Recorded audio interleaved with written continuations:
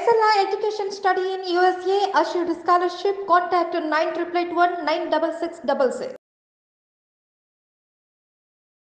నమస్కారం. Welcome to I dream నేను విజిత. ప్రస్తుతం మనతో పాటు ఉన్నారు ప్రముఖ కార్డియాలజిస్ట్ డాక్టర్ మువా శ్రీనివాస్ గారు. ఇప్పుడు సార్తో మాట్లాడదాం.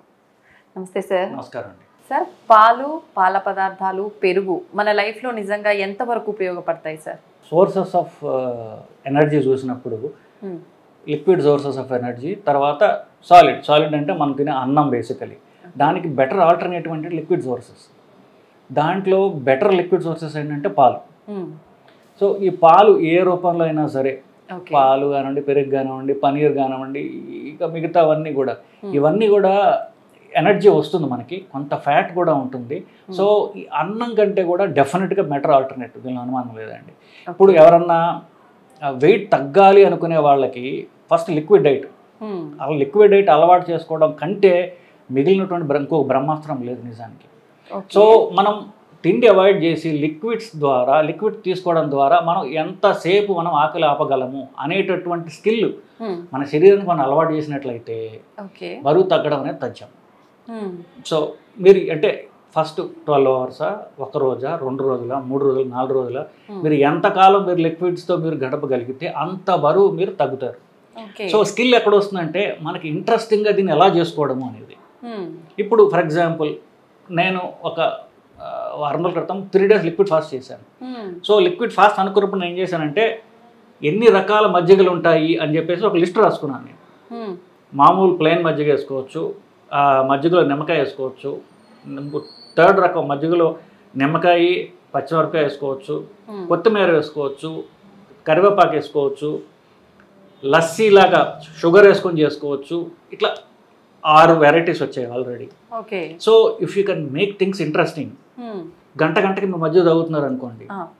మీ ఫాస్టింగ్ ఏదవుతుందో అట్లా మేక్ అంటే అది ఒక పెయిన్ లాగా ఉండదు మీకు ఆరు రకాల మజ్జిగలే వచ్చాయి మనకి ఇంకా కాఫీ ఉంది మనకి బ్లాక్ కాఫీ మామూలు పాల కాఫీ కోల్డ్ కాఫీ. ఇంకా రెండు మూడు టీలు ఉంటాయి ఇట్లాగా మీరు గంట గంటకి ఏదో ద్రవ పదార్థం తీసుకున్నట్లయితే విల్ మేక్ అంటే మనకి ఏదో కోల్పోయాం అన్న బాధ కాకుండా will make things interesting for you అట్లా ఒక రోజు రెండు రోజులైనా సరే మీరు లిక్విడ్ ఫాస్ట్ చేయగలిగితే. అప్పుడు మీరు బరువు బాగా తగ్గుతారు అంటే. సడన్గా ఇప్పుడు అంటే మధ్య మధ్యలో బాడీకి షాక్ ఇచ్చి బరువు తగ్గాలనుకున్నప్పుడు చాలా ఉపయోగపడుతుంది basically. So this. Is a very good way liquid ఫాస్టింగ్లో ఆ. పాలు పాల products best. Okay. Pure water అయితే ఇంకా అంటే కష్టం కానీ అది ఇంకా మంచిది. యాక్చువల్లీ.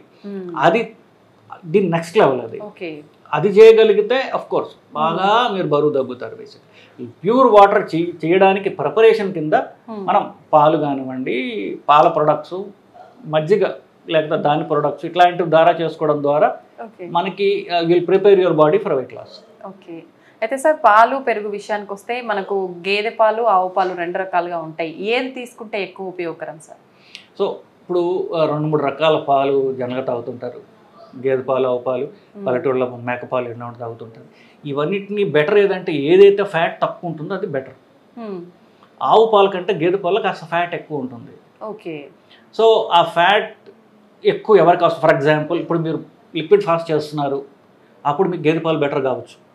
ఎందుకు? బెటర్ సోర్స్ ఆఫ్ ఎనర్జీ దానిలో కాస్త ఫ్యాట్ ఎక్కువ ఉంటుంది కాబట్టి మీకు ఎనర్జీ కాస్త వస్తుంది మీకు. అంత Hmm. నీరసం తక్కువ ఉంటుంది లేదు మామూలుగా అంటారా? Low fat alternative better like for example cow milk. చిన్నపిల్లలకి ఏం పెట్టాలి? చిన్నపిల్లకి గేదె పాలు పట్టమంటారు. చిన్నపిల్లకి ఒకసారి గేదె పాలు పెడితే ఎక్కువ ఎనర్జీ ఉంటుందని. ఓకే. కొంతమంది చిన్నపిల్లలకి వాళ్ళు ఎంత ఫ్యాట్ పెట్టినా వాళ్ళు ప్రాసెస్ చేసుకున్నటువంటి పెగులు వాళ్ళకు ఉంటాయి. సో గేదె పాలు ఇవ్వచ్చు. ఓకే. పెద్దవాళ్ళకి ఆవు పాలు తీసుకోవచ్చు. ఇఫ్ యూఆర్ ఫాస్టింగ్ మేబీ గేదె పాలు బెటర్ అట్లా if you know the difference you can మీకు మీ అవసరాలు బట్టి మీరు దాన్ని మార్చుకోవచ్చు. ఓకే. అయితే సార్ పెరుగు విషయానికే వస్తే ప్రత్యేకించి సమ్మర్ సీజన్లో ఎక్కువగా పెరుగుని రకరకాలుగా తీసుకుంటూ ఉంటారు. బాడీలో వేడి తగ్గడం కోసం అని చెప్పి చలవ చేస్తుందని.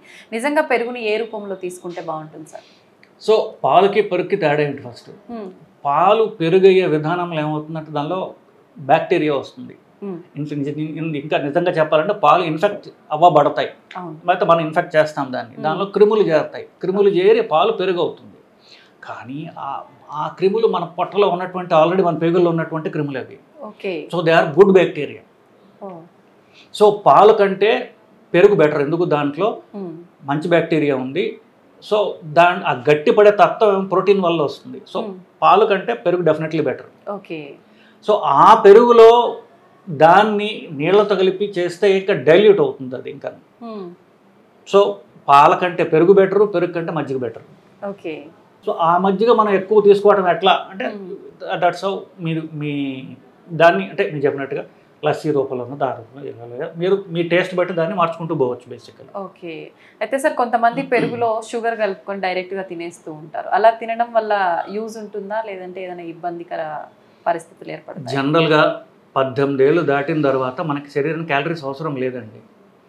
సో మనకి అంటే అది బేసిక్ బండి నడవడానికి అంటే మెటబాలిజం మన పనులు చేసుకోవడానికి కావాల్సిన క్యాలరీస్ చాలు. ఎక్సెస్ క్యాలరీస్ మనం ఎంత తీసుకోకుండా ఉంటే అంత మంచిది. ఓకే. సో పెరుగులో క్యాలరీస్ చాలా తక్కువ ఉంటాయి. షుగర్ యాడ్ చేస్తే క్యాలరీస్ పెరుగుతాయి. టేస్ట్ గురించి కావచ్చు బట్ జనరల్గా ఇప్పుడు ఫర్ ఎగ్జాంపుల్ ఇప్పుడు మీరు సింగపూర్ వెళ్ళారనుకోండి ప్రతి కోకో కోలా క్యాన్ మీద వాళ్ళు డిస్ప్లేలో పెడితే కింద క్యాలరీస్ వాళ్ళు మెన్షన్ చేయాలి. They are so calorie conscious in fact Coca Cola మీద మీరు మా క్యాలరీస్ ఎక్కువ షుగర్ యాడెడ్ షుగర్ ఉందని కేసు పడింది. పెద్ద major case millions of dollars పోయే వాళ్ళకి అమెరికాలో. సో మనం తిండి ద్వారా ఎక్సెస్ క్యాలరీస్ తగ్గించుకోవాలి అనేది అది ఇప్పుడు వెస్ట్లో ఆల్ ఆల్మోస్ట్ పది పదిహేను ఏళ్ళగా నడుస్తున్నది. తిండిలో ఎంత క్యాలరీస్ తగ్గించుకుంటే మనకు అంత బెటర్ ఓకే. మన ఎక్సెస్ యాడ్ చేయకుండా. ఇప్పుడు పెరుగు చక్కగా ఉంది. దాంట్లో మళ్ళీ మనం షుగర్ వేయడం ద్వారా క్యాలరీస్ పెంచుతున్నాం బేసిక్గా అది అవాయిడ్ చేస్తే మంచిదే. అయితే సార్ కొంతమంది పిల్లల విషయానికి వస్తే వాళ్ళ అంటే కర్రీస్ ఇలాంటివి ఏం తీసుకోకుండా డైలీ రెండు సార్లు తిన్నా మూడు సార్లు తిన్నా పెరుగుతోటే ఎక్కువగా తింటూ ఉంటారు. అలా తినొచ్చు అంటారా సార్? ఎక్కువ క్వాంటిటీ వెళ్ళిపోతుంది కదా? పెరుగుతో ఏం తింటారు అనేది. రైస్ అదే. సో రైస్ కాకుండా ఫర్ ఎగ్జాంపుల్ రాగి ముద్ద లేకపోతే రాగి జావ ఇట్లాంటివి బెటర్. యూఆర్ కటింగ్ క్యాలరీస్ కాబట్టి. ఒకటండి. ఒక టీవీ డిబేట్కి వెళ్తే ఒక ఆవిడ నాతో ఒక చాలా ఫేమస్ టీవీ పర్సనాలిటీ నాతో పెద్ద ఆర్గ్యుమెంట్ పెట్టుకుంది ఆవిడ ఆన్ కెమెరా మీరు పిల్లలకి ఇలా డైట్ మీరు చెప్తారు? పిల్లలకి అన్నం ఎందుకు ఆపమని చెప్తారు మీరు అని. సో మంచి డైటరీ హ్యాబిట్స్ పెద్దవాళ్ళకి ఏవి ఉంటాయో అది పిల్లలకి ఎందుకు ఉండకూడదు అని నేను అంటాను బేసికలీ అంటే ఏంటి? పిల్లలు లావుగా ఉంటే పర్వాలా? పిల్లలు ఫ్యాట్గా ఉంటే పర్వాలా?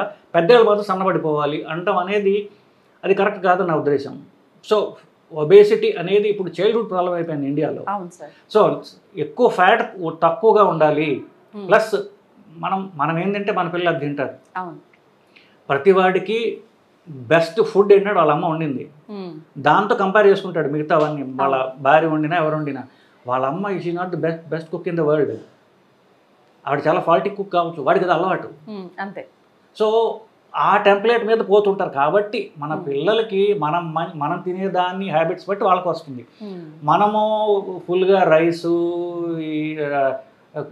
బూరెల్లో నూనె వేసుకుని తా నెయ్యి వేసుకుని తాగడం ఇట్లాంటివి మనం అలవాటు చేస్తే. అలాగే తయారవుతారు వాళ్ళు. ఓకే. అంటే వాడు పెద్ద తర్వాత వాళ్ళకి వచ్చే జబ్బులకి మనం ఇప్పుడు బీజాలు నాటుతున్నాం బేసికలీ ఓకే. సో మనం మంచి హ్యాబిట్స్ అలవాటు చేసుకోవాలి పిల్లలకి అదే అలవాటు చేయాలి. ఈ రైస్ మానేయడము లెస్ క్యాలరీ ఆల్టర్నేటివ్స్ మనం తింటే మన పిల్లలకి అలవాటు చేస్తాం. వాళ్ళు హెల్తీ డైట్ తింటారు. వాళ్ళు హెల్తీగా ఉంటారు ఫ్యూచర్లో అవును సార్. సో పిల్ల లేదు పెద్ద లేదు అందరూ కూడా క్యాలరీస్ తగ్గించి తినడం అనేది మనం అలవాటు చేస్తూ మన పిల్లలకి అలవాటు చేయాలి. నిజం sir. Thank you sir. Thank you నమస్కారం అండి.